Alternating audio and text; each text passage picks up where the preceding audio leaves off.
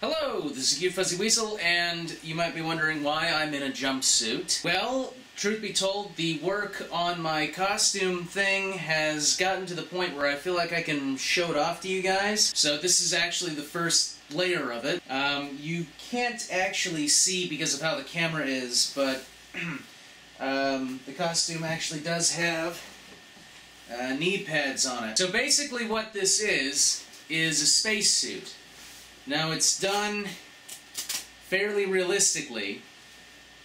That is not uh, not so much Iron Man, more what you might see if you happen to come across the NASA channel. The actual purpose of the suit is for uh, exploration. It's so the wearer can go out on the surface of a planet and move about on it. Primarily, it's it's it's just for surveying. They're not like going out finding uncharted worlds and meeting people. It's it's more a go out and see how tall that hill is and radio back and stuff.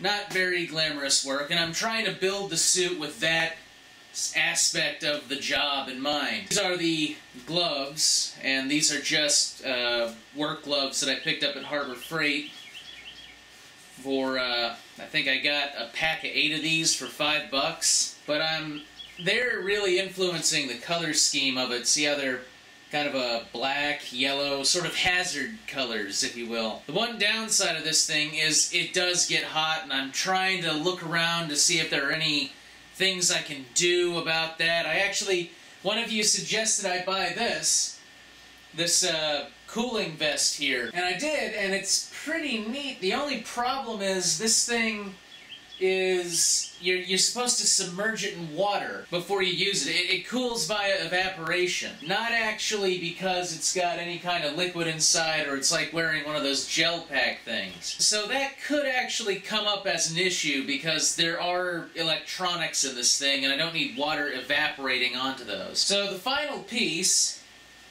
is this thing.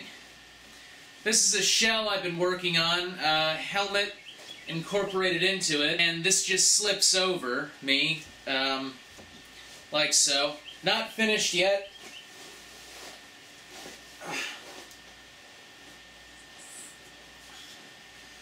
So there you go. Um, there's going to be, a, uh, I'm thinking plexiglass, a plexiglass dome over this part. And um, anyway, this thing's going to be painted as you can, you know, the, the yellow, black sort of color scheme. I'm going to put LEDs up inside the hood here. And you can see from the back, there's going to be some stuff. I'm the uh, there's going to also be there a fan apparatus in here. I've got some old server fans that I've taken out, and I'm going to be building them inside here so I can get some airflow circulating inside the suit because otherwise this thing does get really, really stuffy. Now, I know the helmet's a little sideways. That'll go away with more bracing. Trust me, this thing was way sideways before I started attaching it to the, the actual body of the suit. Now, on the back, um, I've built the mount for it, but I haven't built anything to attach the mount to the uh, carapace here, so, yeah, I'll... I'm not sure what I'm gonna... how I'm gonna show it to you, but on the back, there's going to be a fairly sizable life support unit, and that thing's actually going to have a battery incorporated into it. And I'm trying to figure out if if I uh, if I want that to be what powers up the entire suit, or if I want an independent battery source on the suit. The suit itself is actually made out of discarded horse fencing. It's this uh, plastic. No, it's like a vinyl plastic sheet stuff with high high. Um, high-grade wire going through it. So I chose that because, you know, it's solid. This thing can really...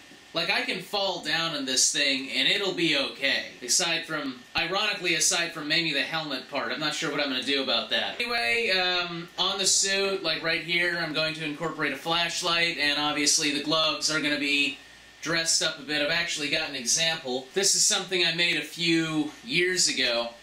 And uh, this is just a piece from a, uh, a, a hockey goalie's uh, protection for the foot. I just put it on the glove.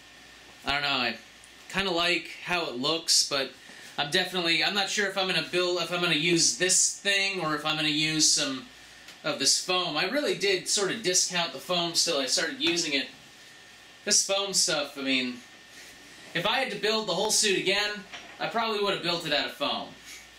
But, um, you know, this is supposed to be a Mark 1 version of whatever kind of spacesuit this is. So it's going to be a little more bulky, it's going to be a little hard to move around in, and that's fine because that's kind of what it's supposed to be. And that'll serve in pretty good contrast to when I build the Mark 2 or the Mark 3, which will be a lot more I really hate to say it, but it'll be a lot more Iron Man-y. Well, not Iron Man-y, but you know, lot, it'll be a lot more form-fitting. There'll be a lot more mobility. This is more like real spacesuit sort of design. Anyway, if you guys have any questions about this, if you guys have any suggestions about this, uh, if you guys have any advice or anything you might suggest I do to it, list that in the comments below. I look forward to your input. This is the first costume that I've ever really built like this, and it's certainly the biggest thing I've ever built to wear. And like I said, I'm interested in all kinds of feedback, so, you know, um, feedback away, eh?